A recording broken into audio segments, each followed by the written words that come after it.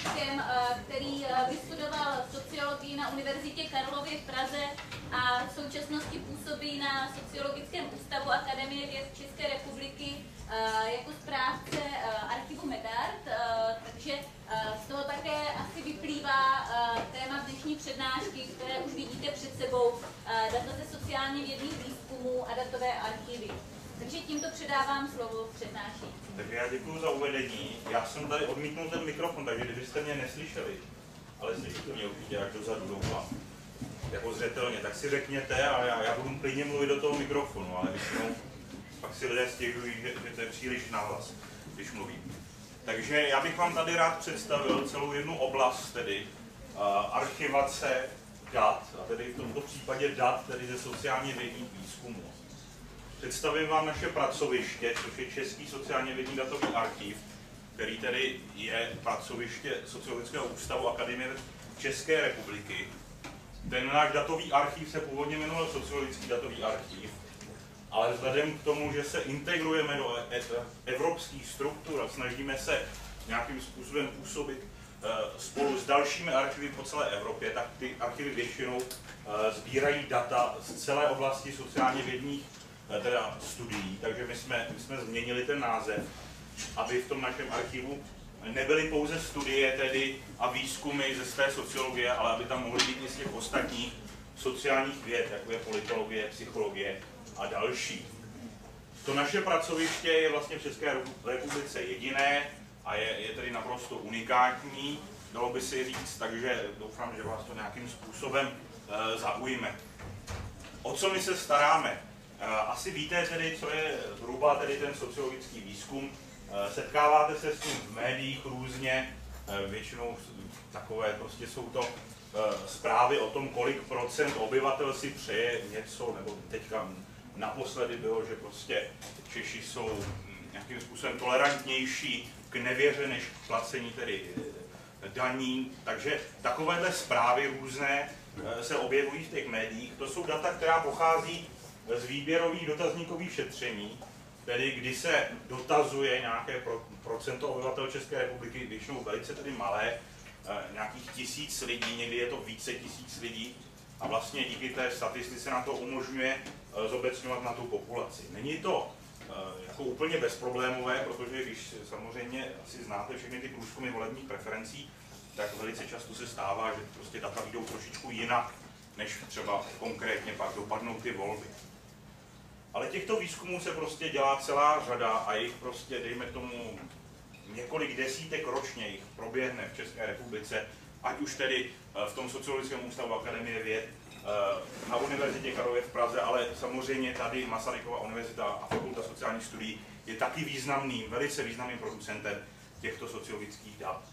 A těchto dat tedy vzniká celá řada a je to tak prakticky už po celou dobu jaksi druhé poloviny 20. století, takže prostě vznikla myšlenka eh, tato data nějakým způsobem archivovat. Protože ten výzkumník, který udělá ten výzkum, většinou nikdy nevyužije stoprocentně ty informace, které jsou v těch výzkumech obsaženy. Tam jsou eh, stovky otázek, nebo třeba stovka otázek, prostě na, na různé věci se ty sociologové a sociální věci obecně ptají. A pak tedy oni z toho napíšou třeba nějakou knihu nebo, nebo článek do nějakého Eh, časopisu, ale jako rozhodně eh, nějakým způsobem nevytěží ten celý datový soubor. Takže tady vznikla tedy ta myšlenka tyto soubory vzít, archivovat je a poskytovat je tedy dalším výzkumníkům, studentům a veřejnosti obecně, aby se prostě na ty výzkumy mohli, mohli podívat. Takže v zásadě to je ta naše práce v té České republice, těch archivů je celá řada po celém světě, k tomu se dostanu za chvíli my v tom ústavu vlastně naše hlavní práce je skutečně to schromažďování těch dat, akvizice, ta archivace a poskytování těch dat, tedy těm klientům toho, toho našeho archivu. Ale samozřejmě tam jaksi sloužíme jako podpora eh, velkých mezinárodních výzkumů, právě, které se dělají na tom sociologickém ústavu Akademie věd. Snažíme se nějakým způsobem podporovat tu sekundární analýzu dat, to znamená, že děláme různě přednášky po, po tedy jaksi sociální sociálně vědních oborech, tedy českých vysokých škol a snažíme se tedy studenty a další výzkumníky nějakým způsobem podpořit v tom, aby ta naše data co nejvíce využívali. A samozřejmě, jak si se zabýváme i tou eh, tedy takovou výzkumnou činností, že ta data tedy nějakým způsobem zkoumáme, zkoumáme jejich kvalitu, právě si klademe ty otázky, jako aby ty výzkumy toho veřejného mínění, sociologické výzkumy byly kvalitní, takže o tom, o tom my nějakým způsobem eh, bádáme. To naše oddělení také prostě vydává jaksi časopis Data a výzkum, který prostě se tam většinou tedy těmito, touto problematikou uh, zaobírá. No, takže to je tedy o tom, o tom našem českém sociálně vědním datovém archivu. A teďka bych vám nějakým způsobem popsal tedy celé to schéma té archivace uh, sociálně vědních dat. V zásadě jsou tam tři hlavní roviny. Ta první jsou depozitoři dat, to jsou ti lidé, kteří ta data nějakým způsobem vyrábějí. To jsou ty výzkumníci, eh, sociální věci, kteří prostě dělají ty výzkumy. Těch se dělá opravdu veliké množství každý rok a jak si, jak si proběhlo samozřejmě v minulosti prostě až několik set. Eh, ta data většinou vznikají pomocí jaksi nějakých grantů, grantové agentury České republiky, nebo vznikají jako zakázky pro ministerstva. Existují samozřejmě prostě, a ty, ta ministerstva si zadávají velké množství tady těch výzkumů. Vznikají data oficiální statistiky Českého statistického úřadu a také tedy vznikají, a to je neposlední řadě, to jsou data, které vznikají v těch komerčních agenturách. Těm my se tedy velice špatně tedy dostáváme, protože samozřejmě ty agentury si je nějakým způsobem chrání a nechtějí je tedy nějakým způsobem zadarmo poskytovat dále. Ale ty, jak si první tři oblasti, tam se tedy snažíme ta data získávat. A da, myslím, že se nám to poměrně i daří, ale samozřejmě není to jaksi nějakým způsobem úplně procházka růžovým sadem, ale v zásadě se dá říct, že jsme v tom poměrně úspěšní.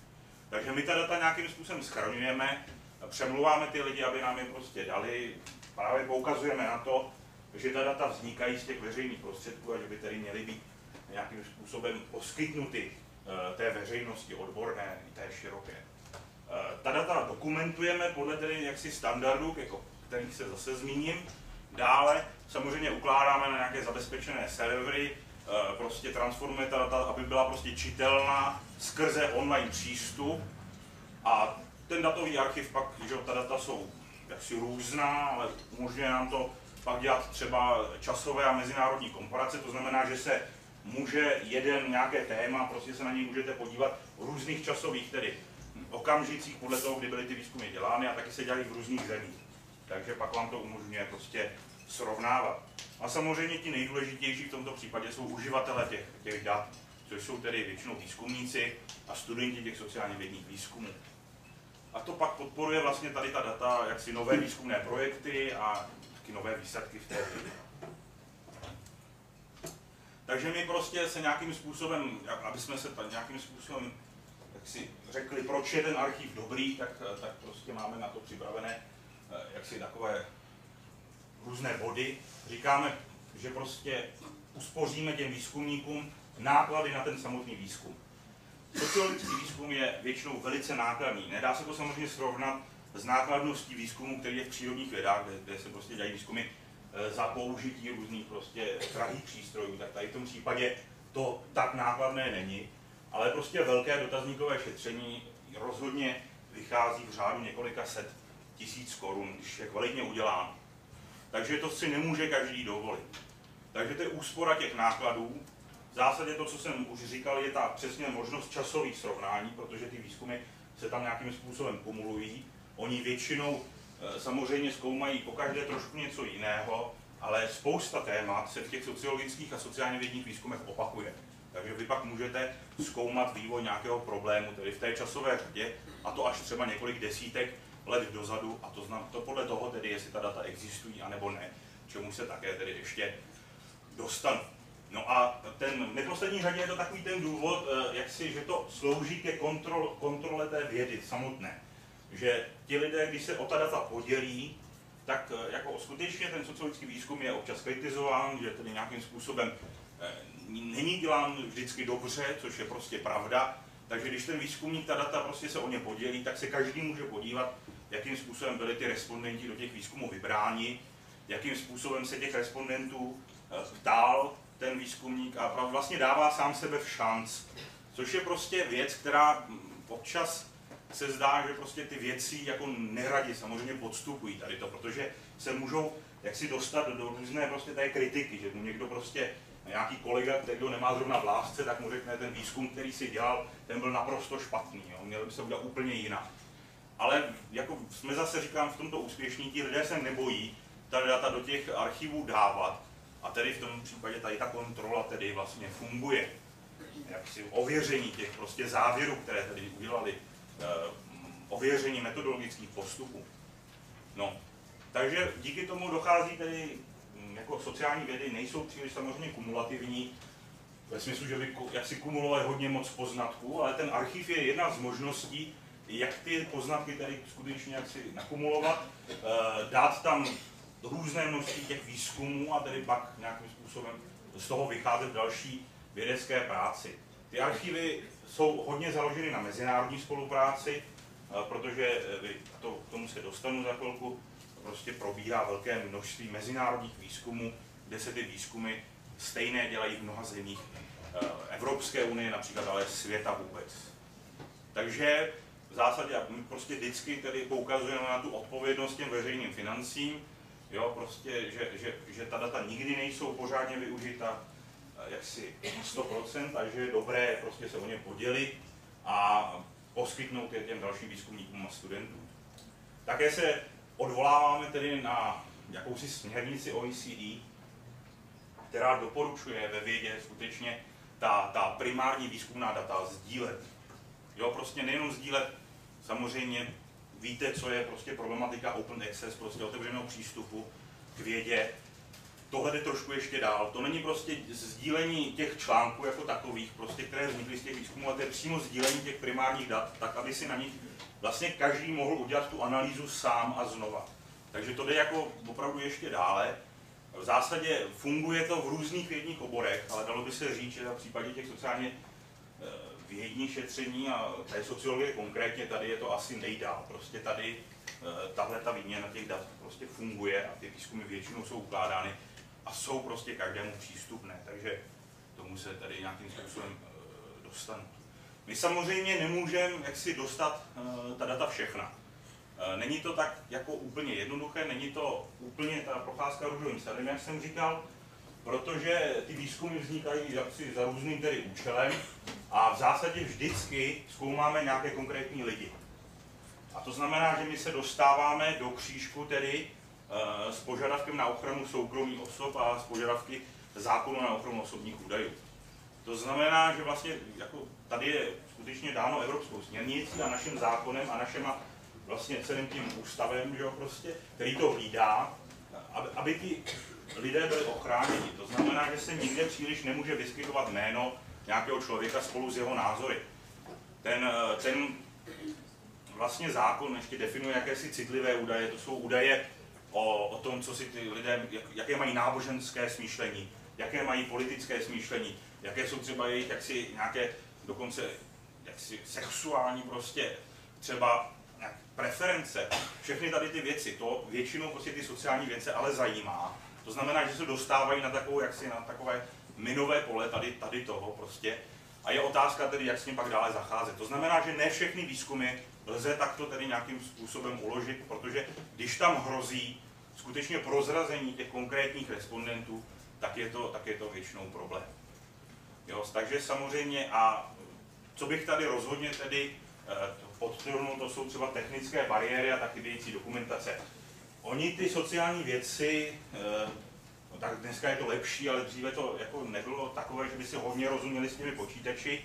Ono je většinou zajímali prostě jako různé, že jsou to lidé, kteří jsou ponořeni v knihách, eh, jak si zajímá je různé tedy fungování společnosti, ale pak když chcete od nich ten výzkum, tak oni Oni pak eh, ho těžko hledají někde na těch svých počítačích, eh, většinou se to nějakým způsobem ztratí, eh, jo, ten výzkum je někde prostě založen, už ho nikdo nemůže nikdo najít, chybí nám dokumentace a v zásadě platí tedy, že čím tedy déle do minulosti, tak tím je to horší. Jo. Prostě tady je obrovské tady pole výzkumu, které česká sociologie prakticky dělala výzkumy od meziválečných let, spoustu nádherných výzkumů. I tady v Brně prostě probíhaly jaksi velké sociologické výzkumy jednou zakladatelů české sociologie Inocenta Anošta Vláhy.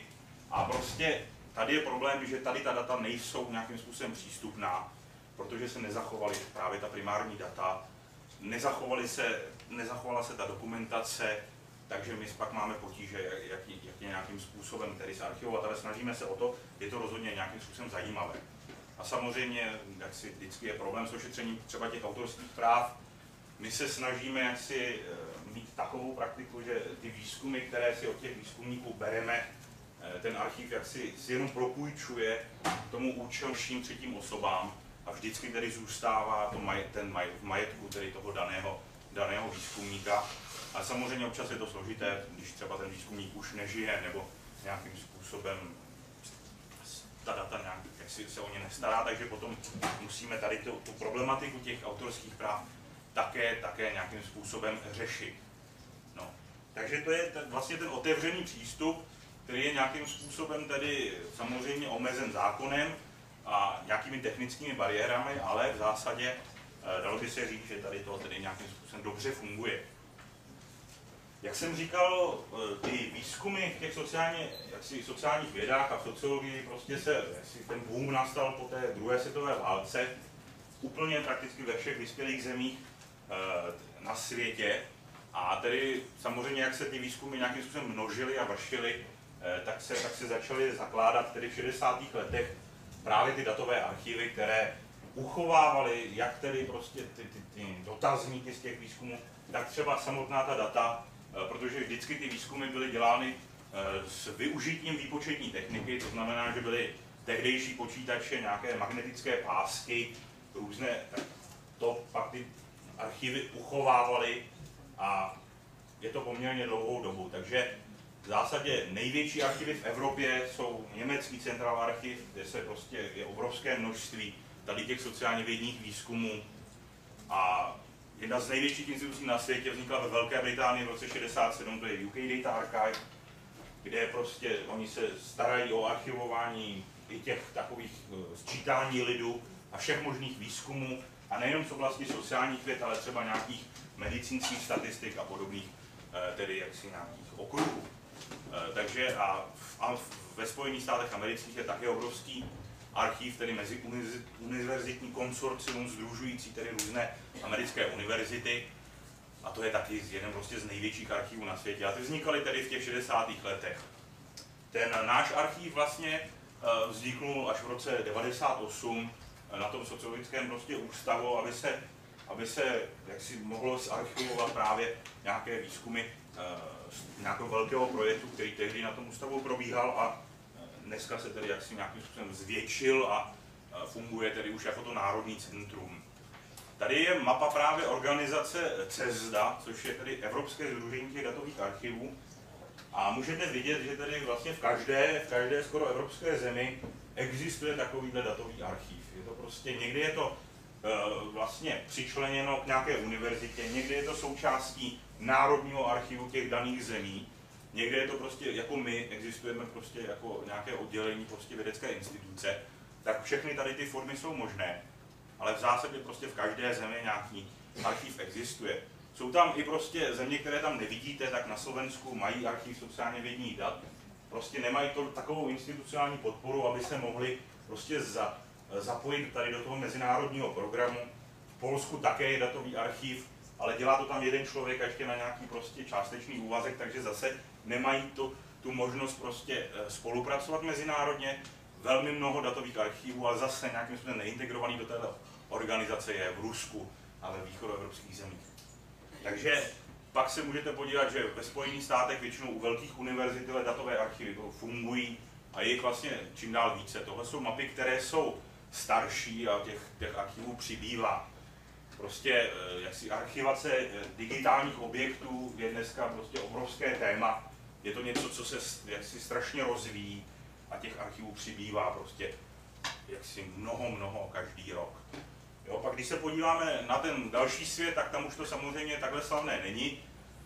Neznamená to, že by se tam v těch zemích, třeba v Africe, nedělaly nějaké sociálně vědní výzkumy, ale prostě samozřejmě není tam, není tam ta možnost nějaký archiv založit a ty výzkumy takto schromažďovat. Takže většinou se to týká tedy těch zemí vyspělých. Ta komunita tady těch archivů, jak ta evropská, tak ta mezinárodně poměrně živá, dochází tam jaksi neustálému setkávání na různých konferencích poměrně velkých, v zásadě, protože sdílí vlastně stejný standard toho, jak se o ta data starat, který představím uh, posléze, tedy nějaké další části té přednášky, tak uh, vlastně musí docházet jak se výměně informací a uh, jaksi poznatků o tom, jak ta data archivovat a většinou jsou archivovány ve všech těch archivech po celém světě stejným způsobem. Je to prostě standardizováno, ta data jsou popsána stejným, stejným způsobem. Eh, samozřejmě těch zdrojů dat, eh, tady z těch sociálních, jaksi, které by zajímaly sociální věci, těch je velká spousta a ne všechny tedy, samozřejmě výzkumy jsou tady v těch archivech.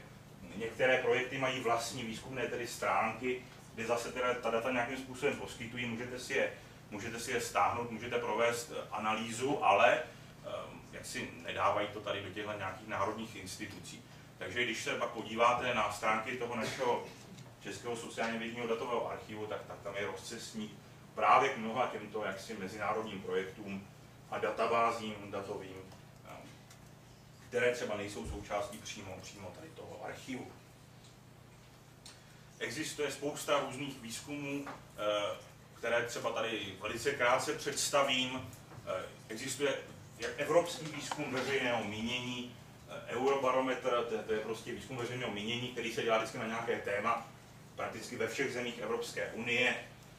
Vlastně zaštiťuje to Evropský statistický úřad, Eurostat a tyhle ty prostě data z toho jsou právě ukládána do toho, do toho německého archivu, do toho centrálního archivu a můžete si je zase nějakým způsobem podívat, jak lidé v různých evropských zemích odpovídali tedy na otázky právě toho daného výzkumu. Existují výzkumy, eh, oblíbené jsou velice výzkumy hodnot, prostě, že se vlastně sociologové zkoumají, jaké mají lidé hodnoty, například zda věří Boha, nebo jaký mají postoj partnerství, nebo co považují za důležité, jestli peníze nebo nějaký osobní rozvoj, takže to jsou prostě různé výzkumy hodnot. Existují zase velké šetření evropský výzkum hodnot, existuje světový výzkum hodnot, to jsou zase různé tedy oblíbené takové srovnávací výzkumy, kde můžete říct, že prostě jedna země má třeba více nábožensky založené obyvatelstvo, druhá méně a spoustu takových témat tam je. Existuje, existuje obrovský tedy mezinárodní výzkum ISSP, to je výzkum, který se dělá každý rok, asi prostě v několika desítkách zemí celého světa. Vždycky je tam jiné téma, je tam téma třeba role vlády, nebo životní prostředí, nebo právě náboženství, nebo pracovní trh. A to se tedy vlastně, jak si se staví takový dotazník, který je společný pro všechny ty země. Ta, ty otázky se vymyslí, pak se přeloží do těch různých jazyků a ten výzkum pak probíhá právě v těch různých zemích a umožňuje vám to tedy srovnávat ty různé země po celém světě navzájem. A zase, jako pokud prostě někdo má zájem, tak si teda to může právě stáhnout a může se přímo tady ty, tady ty analýzy sám udělat prostě, nebo se podívat na to, jak lidé odpovídali na některé, na některé z otázek. To jsou prostě přístup na primární tedy data. Jo, takže to jsou třeba tedy, jak si říkám, výzkumy hodnot, eh, ten program ISSP, pak jsou oblíbené programy, že prostě výzkumu vzdělanosti mládeže, takže třeba prostě projekt OECD, PISA, že ho znáte, eh, že vždycky se objeví v novinách eh, nějaká zpráva, jak prostě české děti jsou najednou daleko horší matematice, než byly před deseti lety, nebo v něčem se prostě zhoršují. To je přesně tady ten výzkum PISA. Zase existují primární data, zase je možné se k ním nějakým způsobem dostat. A tady těch vzdělanostních výzkumů je prostě celá řada.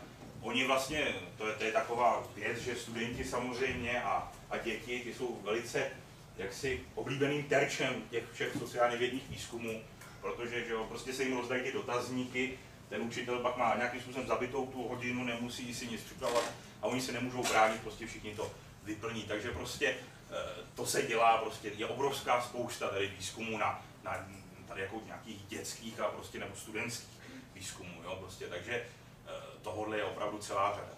Tady jsou třeba ještě další dva programy, jako jsou to jenom jaksi příklady nějakých velkých šetření, které se vždycky zajímají o něco, eh, nějaké konkrétní téma, jako třeba program, program SHARE, který zkoumá tedy stárnutí eh, jaksi, um, evropské populace, jakým způsobem tedy to vypadá s těmi staršími seniory, tam se výzkumníci ptají na různé otázky, ale tam jsou i docela jako zajímavé výzkumné metody, že třeba jsou tam ty, ty starší lidé donuceni mačkat nějakou prostě něco, co ukáže, jakou mají sílu v rukou, takže skutečně prostě pak se to srovnává, kde jsou seniori silnější a kde jsou slabší v jakých zemích. Takže to můžou být i takovéhle věci. U nás na tom ústavu se dělá evropský sociální výzkum, to je hrozně podobný výzkum, jako je to ISSP, které probíhá po celém světě, tak tohle to je zase evropský výzkum, který se dělá eh, vždycky každé zhruba dva roky eh, těch zemích Evropské unie. Tady vidíte ty červené, tam se to už probilo čtyřikrát, ty oranžové, tam to proběhlo zhruba tedy třikrát. Takže tohle to jsou velké mezinárodní výzkumy a ty archivy většinou nějakým způsobem podporují tady, tady ty mezinárodní výzkumy, starají se právě o tu harmonizaci těch dat, aby byly tedy mezinárodně srovnatelné, aby byly dobře tedy popsány. E, takže to je jeden prostě z těch docela důležitých úkolů tady těch archivů.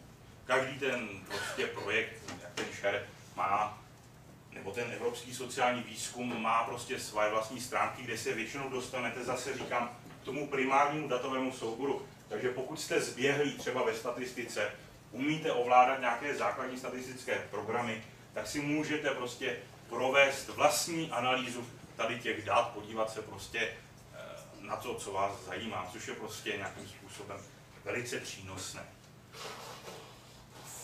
ve Spojených státech zase, tady, tady jsem mluvil teďka většinou o evropských výzkumech, tak tam existuje zase program General Social Survey, to je zase takový obecný výzkum, tedy veřejného mínění, který tam probíhá uh, strašně dlouho, už prostě od roku 72, kdy se zkoumá celá populace Spojených států amerických, a to zase tedy ukládá ten, ten archiv ICPSR a nějakým způsobem pak si to můžete zase uh, zanalizovat. Takže tady vlastně jako vidíte, že ten výzkum je hodně rozvinutý po tom celém světě a zároveň tedy, že, že dochází k tomu tedy jeho archivování a že, že prostě všechny ty výzkumy, ne všechny úplně, ale velká většina z nich je nějakým způsobem tedy přístupná eh, těm dalším, dalším zájemcům, výzkumníkům, studentům. Tak. Uh, hodně často ty archivy uh, archivu také oficiální statistiky. To nejsou že, výběrová šetření, třeba prostě sčítání lidu, to je prostě samozřejmě výzkum, ale ten je zahrnuje úplně celou populaci. Jsou tam neuvěřitelným způsobem cená data pro celou, tedy vlastně tu nějakou sociálně vědní obec. Ale je tady velký problém zase přístupu k těmto datům, obecně tedy na celém světě a u nás to je možná ještě možná trošku horší, protože ty statistické úřady dělají strašně moc zajímavých šetření. Ať je to to sčítání, nebo je to výběrové šetření pracovních sil, nebo různé další projekty. Ale oni se tady velice neradi o ta primární data nějakým způsobem dělí. Takže vy, když si teda můžete samozřejmě jít na stránky toho statistického úřadu a budete tam mít nějaké tabulky, které nějakým způsobem uh, mají agregovaná data a dozvíte se tedy údaje za nějaké celky nebo za celou Českou republiku, ale v zásadě nemůžete dělat nějakou vlastní analýzu a nemůžete jít nějakým způsobem podrobně do těch dat dovnitř, ale ten Český statistický úřad tu databázi takovouhle má. Prostě tam je ta zajímavost, že ty archivy těchto těch sociálně vědních dat se v současné době snaží domluvit po celé tedy Evropě s těmihle národníma statistickými úřadama, aby teda bylo možné některé z těch dat tedy poskytovat skrze tady ty archivy. Ty statistické úřady jsou teďka nuceny prostě také, prostě je nějaká evropská směrnice, která je nutí, aby ty data zveřejňovaly, protože zase, že prostě je to instituce, která je placena z veřejných prostředků, e, stojí to neuvěřitelně obrovské peníze a v zásadě ta data jsou vám nějakým způsobem většinou prostě zamítán přístup k ním a jsou vám dány skutečně jenom ty uh, jaksi schrnující čísla. Takže je tam snaha se nějakým způsobem domluvit.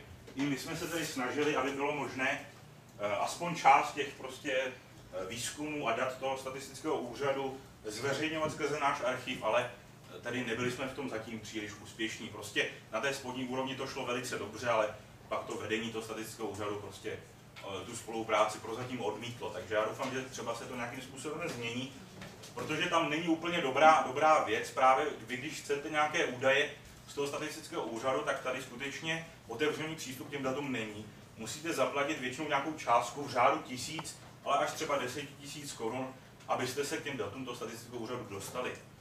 čemuž já tedy narážím na tu věc, že v případě těchto těch archivů sociálně vědních dat je ten přístup naprosto bezplatný a otevřený prakticky každému. Je to, je to přístup, který je podmíněn většinou nějakou registrací, a to právě proto, abychom se mohli vykazovat jaksi ministerstvu nebo prostě tomu, kdo tady zrovna provoz, provoz toho archivu platí, tak aby prostě bylo jasné, že ten archiv má, má samozřejmě nějaké klienty, který, kteří, kteří ho využívají, ale v zásadě není tam žádný problém se k těm datům dostat a v případě těch statistických úřadů tohle to neplatí a zatím tedy a jsou to data, která jsou nějakým způsobem velmi jaksi zajímavá a významná. Takže možná se to nějakým způsobem uh, jaksi zlepší a změní. Takže teďka vlastně už konkrétně k tomu, jak se k těm datům dostat, uh, jak vůbec vypadá ten, ten datový náš katalog a uh, co tam všechno můžete najít. To je vlastně možná, vás zajímá nejvíc. My v zásadě máme tedy hlavní tedy stránku archiv.soc.cz,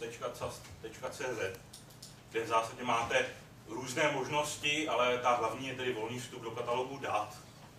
A tam se přímo dostanete na ty, na ty výzkumy, které jsou v tom našem archivu uložené. Jsou tam samozřejmě odkazy na různé další věci, které archiv dělá, protože samozřejmě my, jak, si, jak jsem říkal, vydáváme časopis, děláme různé metodologické studie, jako učíme různě tedy na různých vysokových školách, snažíme se ten archiv tedy eh, přiblížit tedy si těm studentům a výzkumníkům. Takže jsou tam odkazy na všechno. Než se do toho katalogu vlastně podíváme, no, můžete si to, kdo jste na internetu rovnou zkusit, tak teďka vlastně taková technická záležitost. Eh, samozřejmě každý datový sou, každé datové soubory, a to vy víte určitě velice dobře, prostě mají většinou nějaký standard metadat. To znamená, jak ten datový soubor popsat. V případě těch digitálních objektů je těchto těch jaksi standardů velká řada. Je to prostě mm, jaksi až pro mě, jelikož já nejsem tedy jako zrovna eh, tady jaksi původně samozřejmě jaksi z toho oboru jako vy, tak prostě je to pro mě občas až jako překvapující, kolik metadatových standardů existuje na popis digitálních souborů. My máme naštěstí štěstí, že tedy eh, existuje v našem případě pouze jeden mezinárodní datový standard, který vzniknul v roce 2000, právě tedy na půdě teda jaksi, hlavně tedy těch amerických archivů, ale jsou v tom združeny tedy všechny archivy po celém světě. Ten standard se nazývá Data Documentation Initiative a v zásadě úplně všichni, kteří eh, archivují data ze sociálně vědní šetření, tento standard používají. On se neustále vyvíjí, v zásadě prostě je to poměrně živá komunita, která ten standard neustále tedy zdokonaluje, až možná rychleji ho zdokonaluje, než jsme schopni ho použít k tomu popisu těch datových souborů, takže prostě on začínal jako statický popis těch dat, tedy skutečně jenom popis toho, co v těch výzkumech je nějakým způsobem eh, zkoumáno, jakým způsobem, kdo třeba to platí, ale teďka samozřejmě se jaksi vyvíjí, že prostě ten dynamický popis eh, celé té archivace, to znamená celý ten cyklus toho datového souboru, a to se samozřejmě v těch verzích pak zase mění, takže pak už máte nejenom statický popis, ale přímo popis toho, jak, se, jak byl ten soubor třeba archivován, kdy byl archivován, k jakým změnám došlo. Ale samozřejmě zase ty jaksi softwarové nástroje už se tak jako nevyvíjí tak, tak rychle, jako se vyvíjí ten samotný standard. Takže jako je to tady trošku rychlejší, tedy ten vývoj toho standardu jako takového. To DDI vlastně v, jako velice velkoryse navrženo. To je prostě, tam je několik set, no desítek položek, prostě, které popisují úplně všechno, co by vás mohlo napadnout, jako prostě nejenom samozřejmě to základní, kdo výzkum dělal, kdo ho třeba platil, jaké, jaká byla použita metodologie, ale prostě úplně všechno, prostě samozřejmě, kdo se podílel na té archivaci, kdo prostě něco, třeba nějaké otázky překládal, tam je úplně všechno.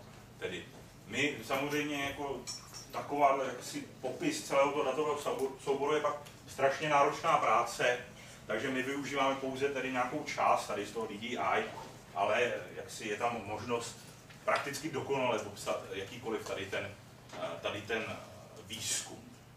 Jo, prostě technicky je to navázáno na programovací nebo ten prostě jazyk XML a vlastně existuje tedy program přímo, který vám představím za chvilku, který se nazývá Nestar.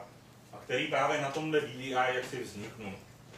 Eh, dříve, když ty archivy existovaly, tak když jste chtěli ta data, tak jste to měli poměrně složité, protože samozřejmě, když to bylo na těch magnetických páskách, tak jako, uh, že jo, analyzovalo se to skrze nějaké velké sálové počítače, prakticky až do 80. let, no tak samozřejmě nemohlo vlastně přijít nikdy, nikdy z veřejnosti, ani té odborné prakticky, aby si ta data pou, jak si půjčil a nějakým způsobem sám analyzoval, protože to technicky bylo nemožné. Dneska samozřejmě s tím, že každý má počítač a každý vlastně si může si stáhnout program na statistickou analýzu dat, a tak prostě je tohleto velice, velice jaksi zjednodušeno. Takže ty archivy se prakticky změnily, že jo, prostě z těch klasických archivů na archivy většinou digitální a všechna ta data jsou přístupná skrze tedy online e, přístup, jak já vám za chvilku ukážu.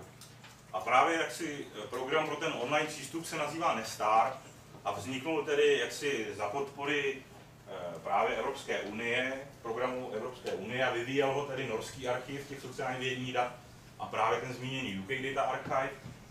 Je to poměrně jaksi dobré řešení, jak si za chvilku ukážeme, a dneska, dneska je to rozšířeno ve všech prakticky těch archivech sociálně vědních dat, ale používá se to i třeba na nějaké prostě archivování právě těch oficiálních statistik nebo nějakých medicínských výzkumů, takže je to rozšířeno až za ten horizont těch sociálních tedy věd. Může to si to samozřejmě nějakým způsobem, když to chce si člověk koupit, tak je to dneska firma, je to komerční platforma. My právě díky tomu, že jsme součástí té cesty, tak k tomu máme přístup za poměrně malý poplatek, takže to můžeme nějakým způsobem eh, používat. Jaksi, není to pro nás finančně náročné. Tak. Ten Nestar jako takový, vlastně to je soustava jaksi tří věcí. Ta hlavní věc je server, kde jsou ta data uložená, kde se to prostě prakticky archivuje. To je prostě samozřejmě úplně normální server. Eh, další věc, která je důležitá, je program Publisher, který slouží právě nám, aby jsme jaksi převedli ta data ve formě, které máme ve formě nějakého statistického souboru, eh, datové matice, většinou je to ve formátu tedy SPSS, jako vypadá to prakticky jako soubor v Excelu, když si to představíte, vy máte prostě řádky, to jsou jednotliví respondenti, a pak tam máte čísla, jak ten, jak ten respondent odpovídal právě na nějaké dané otázky. Takže to je ta datová matice a dostanete k tomu dotazník a musíte to tedy nějakým způsobem převést právě na ten server, aby to bylo přístupné, přístupné těm klientům. A to je ta poslední věc, a to je tedy ten Nestar Review, což je webová stránka, ale zároveň je to jak i statistický program, dalo by se říct, kde si ta data můžete prohlížet, můžete si i tedy základním způsobem analyzovat. A když, když jste nějakým způsobem pokročilý výzkumník a chcete ta data použít v nějakém v tom statistickém programu, kterých je zase celá řada, ty statistici, jak si, jsou to programy SPS, statistika, ale různé další, mezinárodně používané, tedy uh, jaksi komerční programy, tak si můžete přímo stáhnout ten datový soubor ve formátu právě pro jakýkoliv tady z těch, uh, z těch programů. Takže je to velice jako uživatelsky jaksi eh, pěkné řešení, že každý se prakticky k těm datům velice jednoduše může dostat, může s nimi tedy provádět nějaké základní tedy analytické operace a když tedy chce s nimi pracovat dále v jiných těch programech, tak si je může i stáhnout tedy v tom formátu. Takže když se na to podíváme vlastně, tak no, u nás je to řešeno tady, tady takto, že kliknete na volný vstup do katalogu dat a rovnou se vám otevře ten datový katalog jako takový. Jo, tam máte potom, já se za chvilku přímo do toho podívám konkrétně samozřejmě, ale teďka tady nějakým způsobem obecně. Tam jsou pak uloženy tedy, uh, jsou tam dva adresáři hlavní, ten první to jsou ten Český sociálně vědní datový archiv, to jsou ty kvantitativní šetření, tedy šetření, které, které jako používají ta čísla, jsou statisticky zpracovatelná. No a pak je tam tedy pouze archiv metadat eh, ke kvalitativním výzkumům, čemu se tedy dostanu na závěr té přednášky, co jsou ta kvalitativní data, protože to je zase další oblast celé té sociální vědy, která je jako si nějakým způsobem archivačně dokonce náročnější a i jako jaksi na zpracování náročnější, než jsou právě jenom tahle ta dotazníková šetření. Takže vy si tam takto můžete prostě eh, ten archiv prohlídnout. A na co chci upozornit, je právě ta mezinárodní jaksi vlastně srovnatelnost. Všechny ty jaksi datové archivy, nebo většina z nich, a do budoucna všechny, budou muset tady ten systém Nestar používat, to znamená, že když se naučíte tady s tím jedním nestárem, třeba v případě našeho archivu, tak potom vlastně se dostanete na různé stránky třeba těch zahraničních archivů, oni používají úplně stejný ten systém na tu prezentaci těch dat a na jejich tedy analýzu a na jejich stahování. Takže tady je příklad archivu, tedy, eh, který jak si archivuje ten evropský sociální výzkum. Je tady příklad tedy toho eh, centrál archivu, německého archivu, kde je prostě obrovské jaksi, množství právě a mezinárodních dat, třeba z toho programu ISSP, eh, které jsou tam uloženy a různé jaksi, velké množství těch mezinárodních výzkumů. A v zásadě to všechno vypadá úplně stejně, jako vypadá tedy ten archiv náš. Takže v zásadě ano, tam je to tedy všechno popsáno anglicky nebo případně nějakých těch národních jazycích, ale eh, ten systém je prakticky úplně stejný. Tak já bych vám to teďka ukázal přímo naživo a budu se modlit samozřejmě, aby to nějakým způsobem fungovalo, protože eh, ten Nestar to jaksi je dobré řešení, je to kvalitní software, ale má jednu jaksi nevýhodu, že úplně jaksi dokonale odladěn není. Takže většinou já, když jako někde přednáším, tak většinou to dopadne dobře, ale občas se stane, že ten systém spadne a nelze s ním vůbec nic dělat, že což samozřejmě vede k trapné situaci. Já doufám, že to teďka nenastane. Takže prostě tak to vypadá ten datový katalog. Ehm, na té levé straně tam máte tedy seznam těch výzkumů, adresáře, kde jsou ty výzkumy uloženy a na pravé straně se zobrazují přímo ta data. Takže my, když se tam do toho podíváme, tak hnedka budete vidět, že prostě ten archiv má dvě sekce, máme data přeložená do angličtiny, ale zdaleka ne všechna a většina tedy dat je v češtině, takže když se na to pak rozkliknete, eh, na ten vždycky čtvereček, tak se dostanete vlastně na seznam těch výzkumů, které u nás jsou uloženy. Je jich opravdu velké množství, je to prostě několik set výzkumů, které tam jsou. Jo, je to prostě asi zhruba 250 výzkumů eh, ve formě primárních datových souborů, a prostě ještě tam daleko větší množství výzkumů, které jsou tedy ve formě těch tabulek a agregovaných dat, o čemž budu mluvit ještě asi za chvíli. Takže my tam vlastně máme adresáře, které jsou buď to podle tématu, a nebo podle tedy nějaké instituce, která je dělala, takže třeba je tam Česká zemědělská univerzita, nebo výzkumný práce, ústav práce a sociálních věcí, ale většinou jsou to data, která jsou nějakým způsobem uložena v adresářích podle toho, jaké je téma eh, toho daného výzkumu. Je tam ten mezinárodní program ISSP, to jsou ty mezinárodní velké výzkumy, ovšem tam jsou data pouze za tu Českou republiku. V případě toho mezinárodního datového souboru, kdybyste chtěli srovnávat třeba ty země navzájem, tak byste museli použít tedy ten archiv, eh, centrální archiv, ten německý. My máme tedy většinou ta data pouze, pouze za Českou republiku, případně pokud jsou to starší výzkumy, tak za Slovensko. Ale v zásadě to pokrývá tedy území té České republiky, takže pak si to zase, jak si můžete rozkliknout, uvidíte vždycky, že tam jsou třeba výzkumy od roku 92 až do roku 2010. Oni samozřejmě, tam cílem ty výzkumy dávat co nejdříve to jde.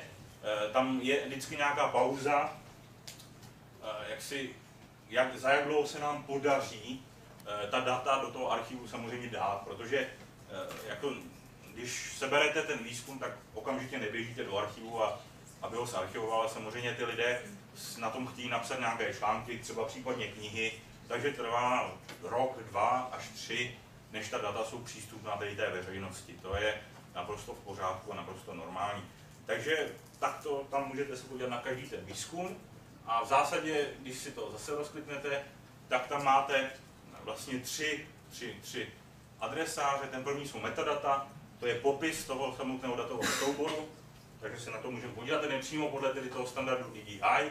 Všechny ty položky jsou tedy, jo, prostě víte, jak se to jmenuje, jaký je podtitul, kde to bylo vytvořeno, kdo ta data distribuje, všechny prostě informace, které tam jsou, jsou tam informace metodologické, tedy samozřejmě, tak tedy jakým způsobem, co bylo zkoumáno, jakým způsobem ten výzkum eh, vlastně probíhal, jo, jestli byla zkoumána tady třeba základní populace, byla Eh, byli prostě lidé v ČSFR, eh, tedy od 18 do 65 let.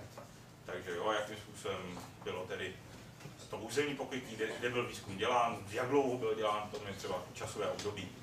Těch vlastně, jak jsem říkal, samozřejmě těch možností, jak to popsat, je daleko více a většinou k tomu nemáme tedy dostatečná data, abychom to mohli popsat ještě nějakým způsobem podrobněji, ale ten popis už teďka, jak je, tak je prostě podle mě velice, velice jaksi kvalitní máte tam možnost eh, prakticky dostat se i k nějakým souborům, eh, jak si zjistíte třeba nějaké publikace, které byly napsány právě z těch výzkumů.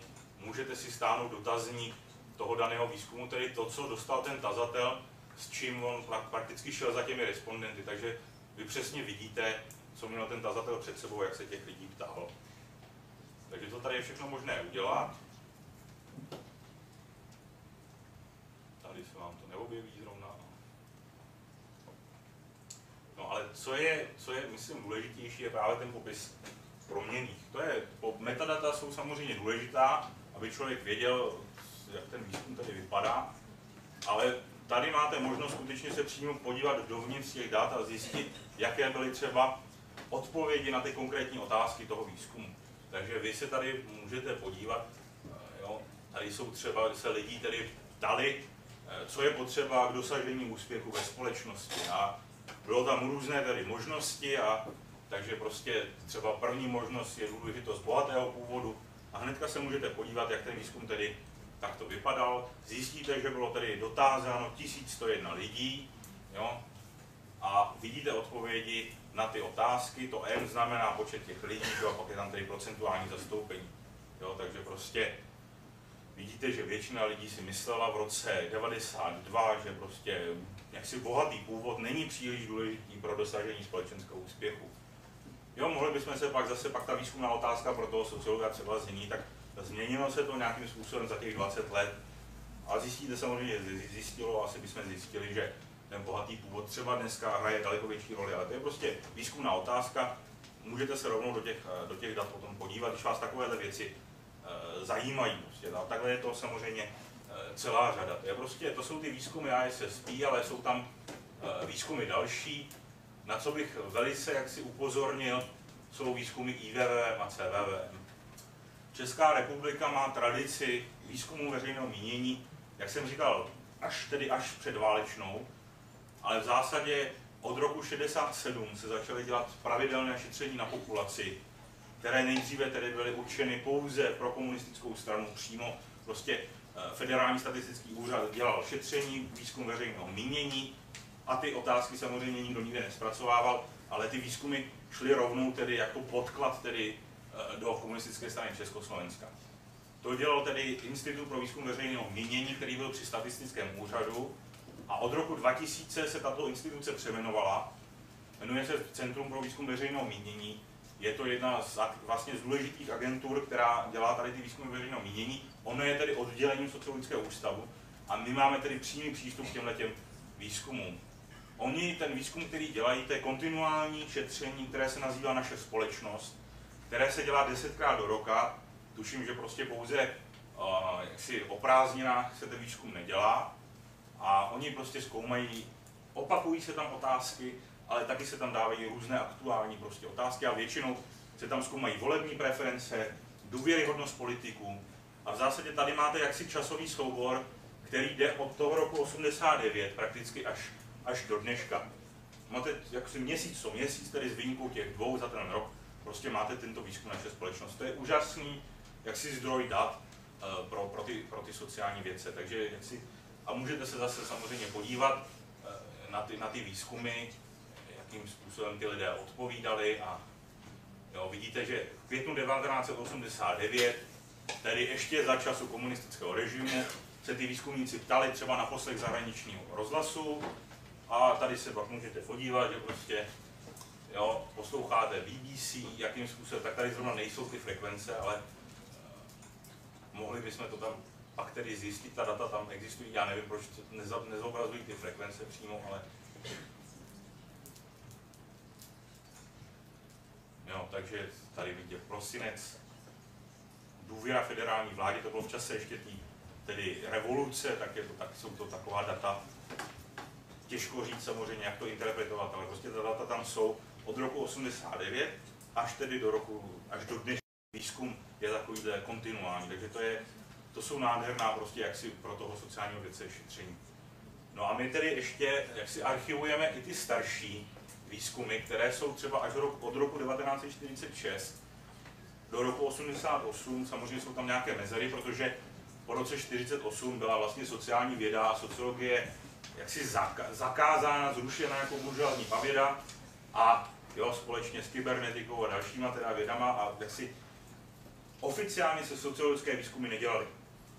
Prakticky se sice dělali, to je pro nás občas teďka překvapení zjišťovat, že ačkoliv neexistovala ta věda, tak existovaly výzkumy, ale a taky je zajímavé se k tomu dostávat, takže prostě těch dat, která třeba v tom archivu nejsou, tak je ještě velká spousta. Ale je tady samozřejmě ten problém, že neexistují ta primární data. To znamená, vy nemůžete dělat ty statistické analýzy, protože oni že rozdali dotazníky a nějakým způsobem pak dělali výsledky tak, že si čárkovali odpovědi, ale nelze na tom prostě jak si dělat žádné, žádné statistické analýzy. Máte to, co, čemu říkáme ta agregovaná data, takže my to tam jaksi, jaksi vlastně zobrazujeme ve formě tabulek, jo, prostě nějakým způsobem tady jsou různé témata, tak vidíte, že když vzniknul ten výzkum, Ústav pro výzkum veřejného mínění, tak první téma, které ho zajímalo, tak bylo veřejné mínění a problematika otylosti. Tak to je zajímavé, že samozřejmě, takže se těch lidí ptali, kolik jídel za den jako její a různé další takovéhle věci. A to my máme tedy nějakým způsobem uzavřeno registrací, ale eh, jo, tam kdy, kdo, kdykoliv se dostanete v případě toho nestáru na nějakou takovouhle eh, si, stránku, tak to znamená, že to po vás chcete nějakou registraci, takže to znamená, že ten archiv není úplně otevřený. On prostě nějaké své funkce, jako je třeba eh, právě zobrazování tabulek, nebo jako je nějaké provádění základních statistických operací, o kterých za chvilku zase něco řeknu, tak my chceme, aby se ten uživatel registroval. On nám musí prostě podepsat jakési podmínky, že ta data nezneužije, že se nebude snažit, většinou ta data žádné osobní údaje jaksi neobsahují. Jo? Nemůžete se dostat na konkrétního člověka eh, tady z těch výzkumů, ale v zásadě, kdybyste se hodně snažili a byli jste třeba měli nějaký údaje za malou obec, tam ty lidi jste schopni dohledat, takže my chceme, aby eh, prostě lidé se zavázali k tomu, že ty osobní údaje prostě hledat nebudou a jako nic takového prostě nebudou provádět. Takže pak se tady, když se zaregistrujete,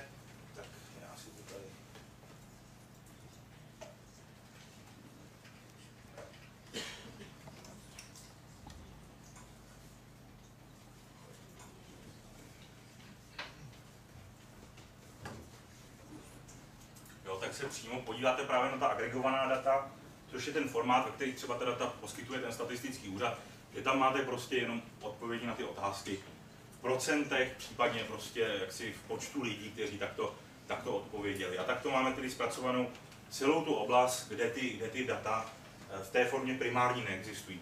To je prostě celá ta polovina toho 20. století až prakticky do nástupu normální výpočetní techniky, tak prostě není, není takto zpracovatelná. Jsou tam problémy, že třeba my jsme schopni se dostat dokonce té magnetické pásce. Jo, skutečně to je ta věc, která prostě, na kterou to bylo ukládáno v těch sálových počítačích v těch 80. letech, ale dříve i třeba prostě, teď nás navštívil nějaký starý pán a prostě přinesl eh, magnetickou pásku s počítačem Minsk 22 jo, což byl počítač, který byl rozšířen v Sovětském svazu a ve Finsku, a, nebo ne, ani tam ne, prostě. A my už s tím nebudeme vůbec moc nic dělat. Jo. Prostě jsou to data, která existují, ale jsou ztracená. Jo, prostě, no. Tak snažili jsme se teďka přečíst právě nějak, některé ty magnetické pásky z 80. let, a v zásadě je to tedy se střídavým úspěchem, protože prostě na západě byl jakýsi formát normální IBM, to je standardní věc, ta se přečíst dá, protože ještě dneska jaksi systémy jsou prakticky na tom formátu jaksi, nebo standardu vystavěné, ale u nás běhala jakási modifikace prostě, která už není tak jako dobře přečtitelná, takže máme s tím takovéhle problémy. On to nejsou problémy, mě to třeba hrozně baví samozřejmě, jak si pátra tady po těch historických výzkumech, ale je to škoda, už se přímo k těm primárním datům asi většinou nedostaneme, protože budou zničeny. Jo, lidi se k tomu taky nechovali hezky, prostě, prostě jeden kolega, který právě tyto, o tyto pásky se staral, tak se ještě chlubil, že s nima svazuje rajčata teďka prostě někde na zahrádce. A tak člověk, je mu to líto a prostě, jo, skutečně tam ty data jsou. Třeba by je bylo možné přečíst, jo, prostě právě jsme se ptali těch mezinárodní komunity, jako jak to dělají, tak třeba právě říkají, že třeba ve východním Německu existuje prostě velký program, že jo, prostě na jaksi archivaci záznamu Stasy, prostě východněmecké tajné policie, kteří prostě takovéhle věci prostě nějakým způsobem používali třeba by tam ten datový formát byl podobný. Jo. Takže je to takové zajímavé, ale bohužel je to ztraceno. No. Je to, většinou je to ztraceno a uvidíme, jestli se vůbec tady k těm datům dostaneme nebo ne. Takže právě proto to vlastně takhle prezentujeme pomocí pouze těch tabulek a můžete si třeba samozřejmě eh, zase, pokud, když bude někdo chtít, tak, tak si může stáhnout tu, eh, tu prostě závěrečnou zprávu z toho výzkumu jako takového a přímo se do toho podívat. Prostě tam není možné nic jiného tedy dělat. No ale u těch ostatních tedy souborů v zásadě, pokud to někoho zajímá, tak tam lze počítat přímo s těmi daty. Jo?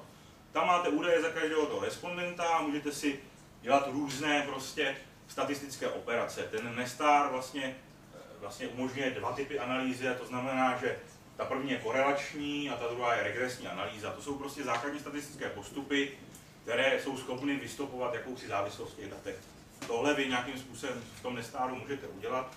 Můžete si třeba nějakým způsobem vytvořit tabulku eh, z těch, eh, z těch prostě dat, která tam jsou, takže jako pak je tady ten analytický vlastně modul, eh, kde, kde my můžeme prostě si z libovolných dat, tedy eh, co bych teďka vybral čistě pro, pro tu demonstraci, jo, tak prostě vy tady dáme analýzu třeba a bude nás zajímat ta nějaká prostě tabulka, takže my se tady dáme třeba prostě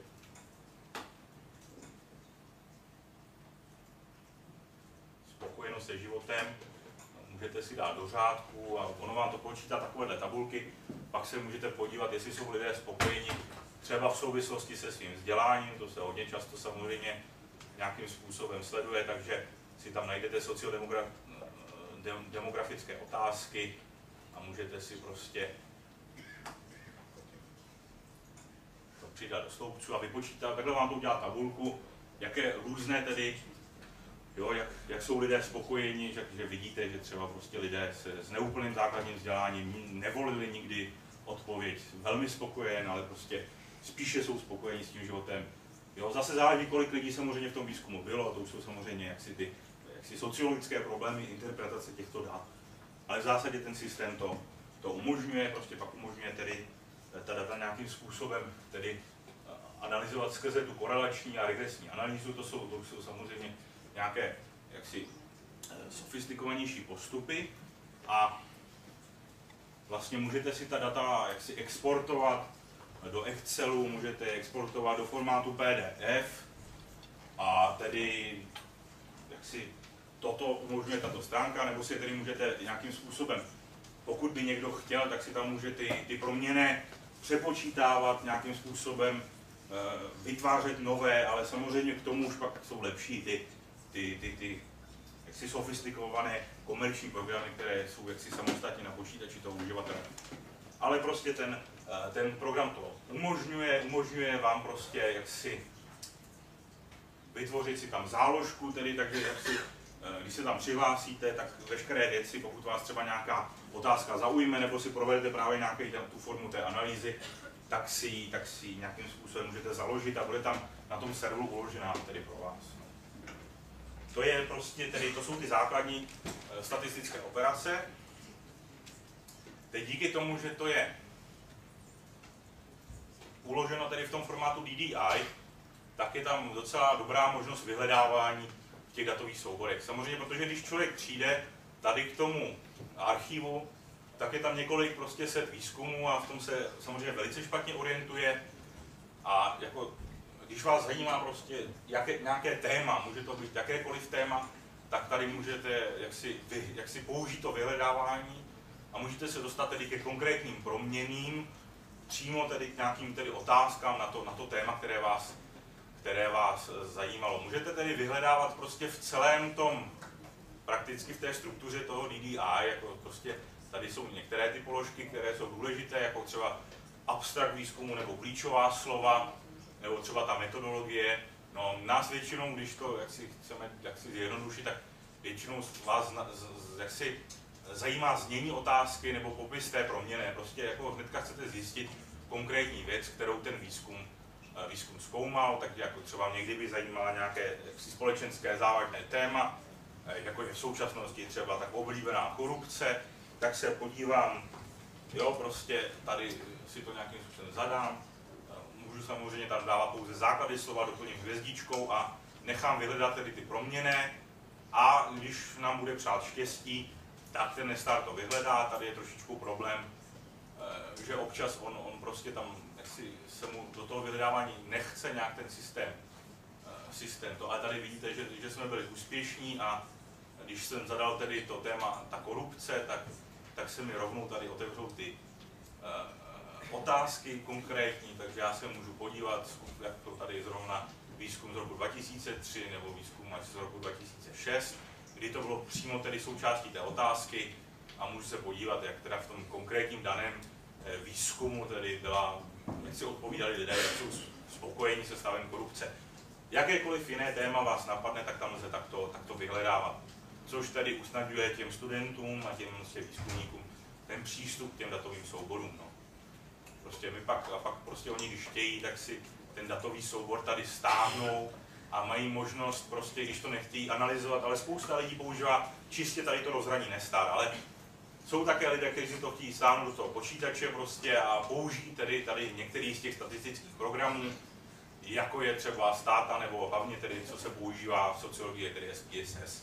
No, takže to, to potom oni také můžou a není, není, není prakticky žádný problém. Jo, u nás je to samozřejmě podmíněno zase nějakou jako registrací, musí se ten musí se ten uh, uživatel registrovat a v případě, že nám stahuje ty soubory, tak ještě nám musí podepsat jaksi přímo jaksi osobně smlouvu, ne elektronicky, ale eh, poštou nám poslat smlouvu, že ta data, data skutečně bude tedy používat jenom k tomu účelu, ke kterému byla. Tady je trošičku celý ten problém, že my ta data poskytujeme bezplatně, ale vždycky jenom pro nekomerční výzkum nebo pro výuku akademickou a nebo jakoukoliv jinou. Ale to, takto je to prostě zařízeno a takto to funguje vlastně všude. Je to otázka do budoucnosti, jak si proč vlastně k těm datům, jak si proč by je nemohly využívat i komerční firmy. Jako jsou konec konců, jak si, jako, platí daně tomu státu stejně jako kdokoliv jiný, proč by to nemohli použít, proč by museli ty firmy za to platit. Nám by to, kdyby byl nějaký samozřejmě na tom jaksi konsenzus, tak by nám to umožnilo se dostávat třeba právě k těm datům těch soukromých agentur daleko lépe potom a ale zatím je to takto, takto omezeno, takže ten uživatel se musí skutečně zavázat. Prostě kdybyste byli ve firmě a chtěli ty data použít pro nějakou prostě zakázku, tak prakticky nemůžete, to je to prostě tak. No, ale tak samozřejmě možná to, jak si nějaký lidé dělají, ale jak si porušují ta pravidla. Jako žádné sankce tam jaksi nejsou, jenom prostě je tam napsáno, my si samozřejmě nemůžeme dovolit nějaké prostě hm, jaksi soudní nějaké řízení nebo tyhle ty věci, to prostě na to jsou ty instituce příliš Eh, příliš malé, nebo tak jako prostě ani na to nemáme kapacitu to, tady to ohlídat, to využití a zneužití těch dat. No, tak ale prostě snažíme se minimálně, aby nám to ten eh, vždycky ten uživatel. Tak, to je tedy ten systém Nestar.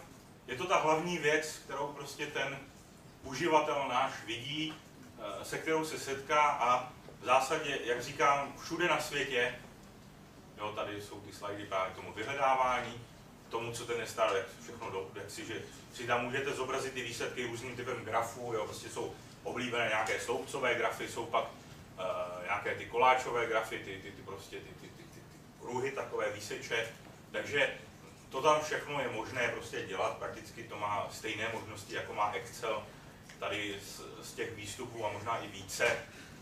Uh, do budoucna je tam možnost třeba mapových podkladů, to znamená, kdybyste měli data, které se stavují k nějakému regionu, tak přímo byste si tam mohli proklikávat mapu. To my zatím zavedeno nemáme. Eh, je tam možnost vázat ta data do nějakého časového, tedy zase eh, jaksi řady nějaké časové, je tam pak graf časových řad. Zase ta data nemáme takto, takto zatím upravena, aby to bylo možné. Ale je to tam prostě jaksi do budoucna tady ty možnosti, možnosti jsou.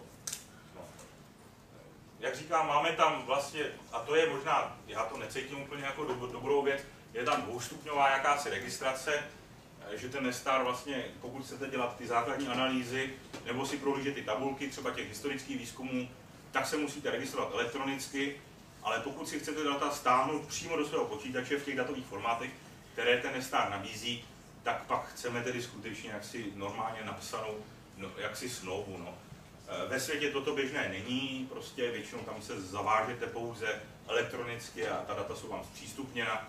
pro nás je to asi také jednodušší do budoucna. My jsme se prostě báli, protože tady ta, jak si ta práce přesně i, i, i samozřejmě akademických pracovníků, nějakých profesorů s těmi daty byla dosti taková volná, jo, prostě měli datový soubor, tak ho všude rozpučili, kde to šlo a jako ne, ne, nelámali si s tím vůbec žádnou hlavu, no, tady s těma věcma, jak tedy, čí ta data jsou, za jakých podmínek je lze využít a to ty lidi skutečně nezajímalo, tak proto tam je takováhle možná pro mě jaksi až moc byrokratická procedura, která třeba bude nějakým způsobem do budoucna zrušena. Tam se samozřejmě celé se to vyvíjí. Aby jste byli v obraze, skutečně ta, existuje ta obra, organizace CESDA, to je Združení těch evropských datových archivů, ta se v současné době transformuje na něco, co se nazývá Evropská výzkumná infrastruktura. To znamená, že přímo z Evropské unie je to podporováno, existuje to ve všech vědních oborech, prostě eh, jako jsme, je to takové, že komické přirovnání, ale prostě fyzici mají třeba jaderné reaktory jako infrastrukturu a my máme ty výzkumy. Jo, prostě jsou to věci, které vědcům slouží, nějak, aby mohli dělat lepší vědu. Jo? A je to, je to jiný, teda jiná část té vědy a je taky jinak podporována. Protože prostě věda dneska je hodnocena za články, za knihy, jo, všechno je bodováno a to. Ale my vlastně pak bys, jako všechny tady ty archivy a ty infrastruktury z toho nevychází dobře, protože jsou podporou pro tu vědu, ale ne, ne, nemůžou získávat žádné tyhle ty body a prostě, tak prostě proto jsou programy pro ty infrastruktury a ta CESDA tedy se stala evropskou infrastrukturou a do budoucna je prostě jaksi sná o integraci těch datových archivů, o harmonizaci těch dat, o přeložení všech těch dat do prostě prakticky všech těch jazyků těch států té CESDy, tak, abyste jaksi v budoucnu přišli na portál vlastně té organizace a bude vás zajímat výzkum na nějaké téma a ono vám to vlastně prakticky, bude to založeno přesně na tom nestáru a vyhodí vám to tedy výzkumy na dané téma třeba po celé Evropě. Jo, to je prostě ta vize té budoucnosti. E, je umožněná tím, že ta harmonizace existuje, e, ten prostě metadatový standard je to DEI, je všude používán, ovšem není třeba prostě úplně e, umožněna tím, že, že, že většinou ty výzkumy nejsou tak jednoduše srovnatelné. Prostě když přeložíte otázku v tom sociologickém dotazníku, tak ne vždycky se vám to podaří tak, aby ve všech zemích lidé prostě byli, jak si odpověděli na úplně tu samou věc. Je to prostě otázka toho překladu, jo, a je to poměrně složité, jak harmonizovat text té otázky, že vy to přeložíte, ale třeba to bude znamenat trošku něco jiného. Ta data pak nejsou úplně srovnatelná. Jo, někteří výzkumníci si s tím nedělají vůbec žádnou hlavu a srovnávají to přes prostě desítky světových států, ale v zásadě tam ten problém je a ta harmonizace v tomhle bude trošičku neúplně lehká. A samozřejmě to technické řešení je právě možné, ale zase, eh, jak si pak ta forma samotná, ta, ta, ta otázka potom, jak ji přeložit, to už tak jednoduché není, takže to nebude zase tak jednoduché, ta harmonizace těch dat a tady ten evropský jednotný datový portál. Ale je to prostě snaha prostě ty archivy integrovat a vlastně zajistit jim tu jako institucionální podporu přímo tedy od té Evropské unie a prostě eh, je to, je to takto, je to v běhu, ale samozřejmě zatím jsou prostě jaksi i problémy formálně trošičku to založit, ale je to pro budoucnost. No. Takže já, tady jsou různé právě ty možnosti té korelační analýzy, eh, co oni, eh, když tam ty výzkumníci chtějí, tak si prostě té korelace je souvislost těch dvou proměných, že může být prostě pozitivní, to nabývá hodnoty 1, nebo negativní korelace, to prostě minus 1. Takže tohle tam všechno můžete nějakým způsobem dělat tady ty statistické analýzy, ta regresní analýza, tam se to většinou počítá nějaká prostě závislost jedné proměny na nějaké proměny jiné, takže většinou je nejoblíbenější regresní analýza prostě počítat prostě mm, výši platu v závislosti na vzdělání, protože tam to vždycky vyjde velice dobře. Jo? To je prostě věc, která prostě víte, tak tohle tam můžete taky nějakým způsobem dělat. A jak říkám, je tam spousta možností, jak si ta data zobrazit, ať už různými grafy, nebo právě těmi mapovými podklady, Můžete ta data transformovat, pokud někdo chce, a různě exportovat skutečně do toho Excelu nebo do toho PDF a využívat rovnou v těch, v těch analýzách. Tak. A teď bych to trošičku jaksi zakončil. Já se o tom zmíním pouze prakticky jako krátce. Ale to jsou data, o kterých jsem mluvil, to jsou ta kvantitativní šetření, dotazníková šetření. To je poměrně jednoduchá věc, to archivujete prostě ty datové matice a údaje prostě o těch výzkumech. v sociální vědě prostě v posledních se ovšem jak se objevuje obrovský proud jaksi kvalitativně orientované sociální vědy. To znamená, že ty výzkumníci někteří prostě s tím zkoumat lidi pomocí tady těch jaksi dotazníkových šetření a jako vyčíslovat přesně, kdo si co myslí a eh, jo, odpověste na otázku, věříte v Boha, ano, ne.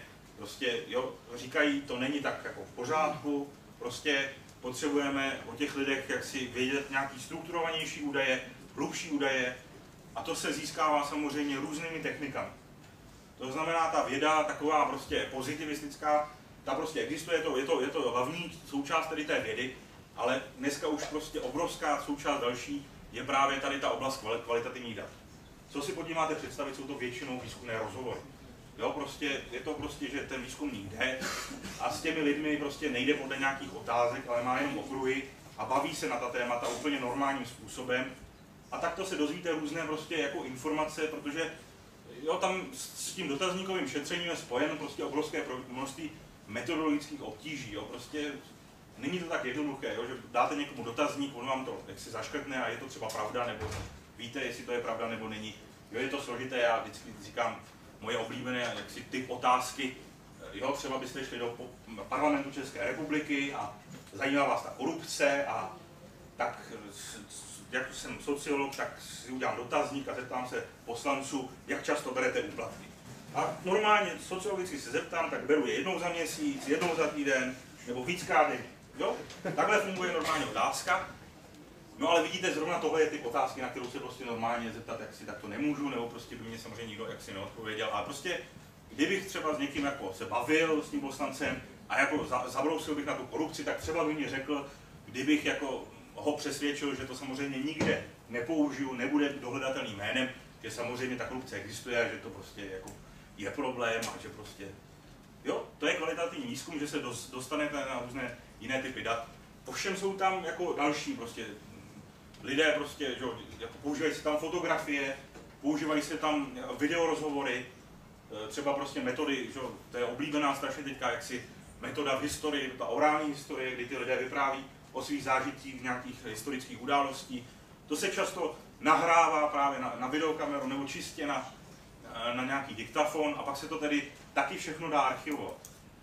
Ale ten typ dat, které tady musíte archivovat, je najednou vlastně cokoliv. To jsou texty, to jsou skenované materiály, to jsou fotografie, to jsou videa a to jsou ty audio nahrávky. Takže máte technicky teďka platformu, to prostě normálně musíte mít digitální archiv který prostě bude zvládat všechny tyhle ty typy souborů.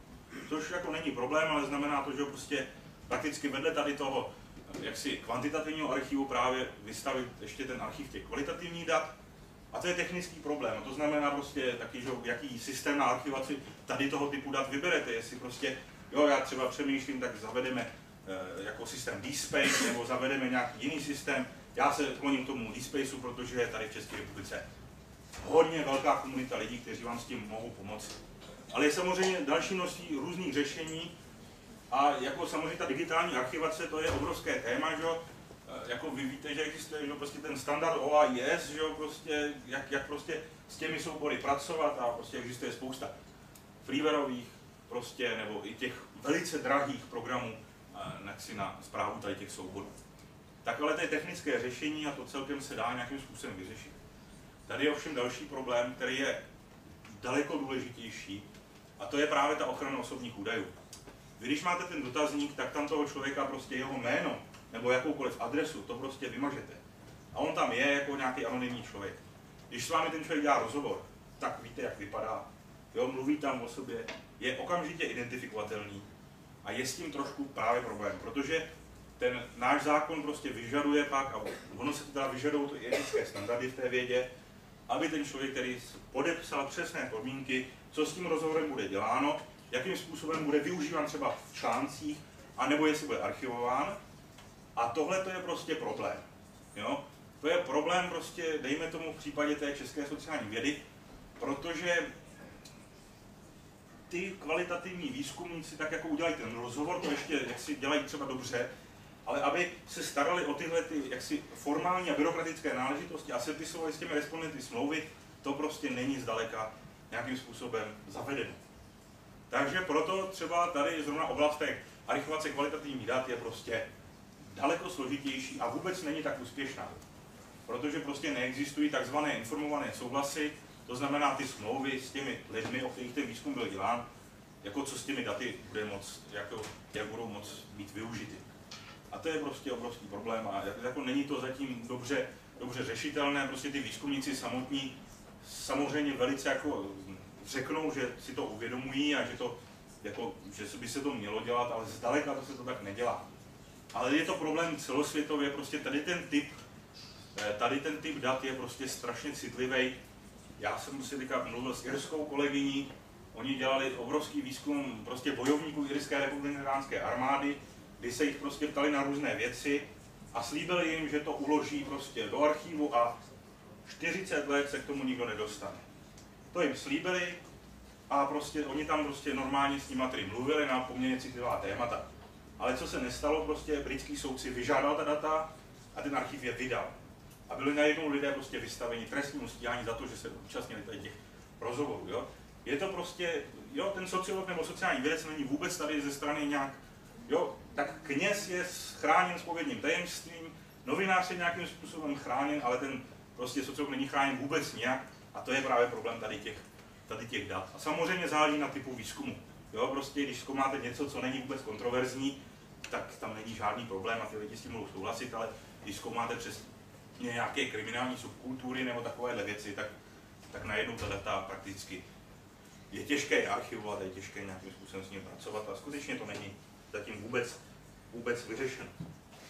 A je tedy prostě ta technická stránka věci, ta se, ta se nějakým způsobem samozřejmě řešit dá. Je to, je to normální, jako dneska archivovat digitální samozřejmě jakékoliv souboje, tak to, to, to je zavedené, to je, to je standardizované, ale prostě přesně tahle druhá otázka, jak ta data ošetřit, tak prostě to zatím vůbec vyřešeno, vyřešeno není. Takže já tady tu přednášku končím, doufám, že nás nějakým způsobem zaujala a